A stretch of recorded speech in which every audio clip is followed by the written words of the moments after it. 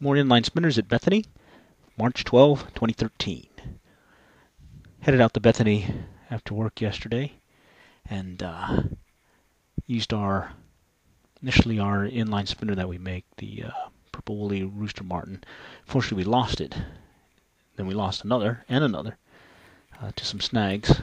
So we tied on a rooster tail. In this case, it's a chartreuse, one eighth inch, and this uh, instance it uh, foul hooked that first bass. So we kept at it, and uh, turned out pretty good. We're getting some good hits off the chartreuse rooster tail, mostly in the shallow, shallows,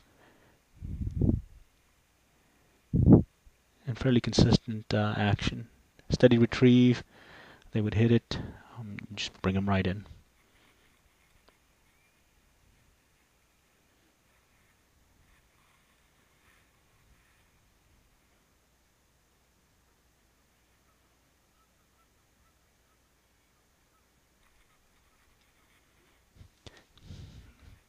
And this one again was fairly close to shore, maybe about uh, 20 feet, 15 feet. Big thing is, is it's only maybe a foot deep, foot and a half where we're casting. This one's a little bit bigger. Hit on that chartreuse uh, rooster tail, uh, one eighth inch.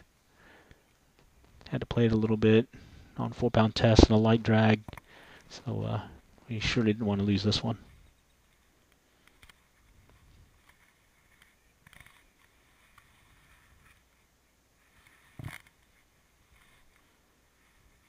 Not bad.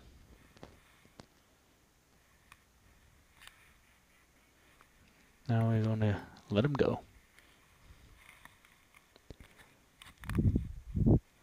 So we uh, fished some more and uh, ended up getting uh, hooked or snagging a uh, tree limb. Uh, so we switched, had to break off actually, and switched over to another rooster tail. In this case, it was a orange short or uh, orange 1/16th ounce and got a hook run on the first cast after tying that one on.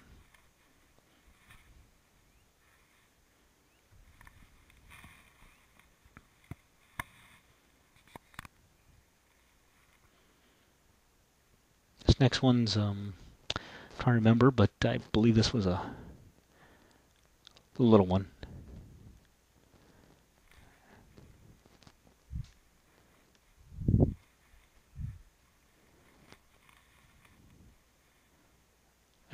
Little one.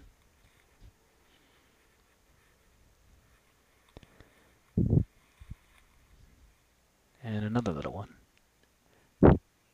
So we worked the shoreline, came around, um, to the uh, other end of the the main pond, started fishing by the concrete wall, and got a hit. Or actually, it was on our way to the concrete wall, and got this one. This next one was uh, over by concrete wall.